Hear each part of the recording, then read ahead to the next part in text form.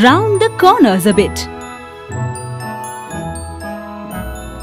Now add two small eyes. Crabs have small eyes. Now add hands. Keep it up.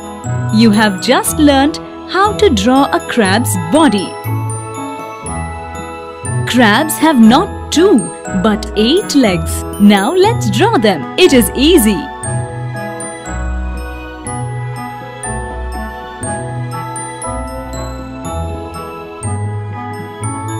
Congratulations! You have just learned how to draw a crab. Do it on a white sheet and show it to your mom. Tap to color the crab. Good job.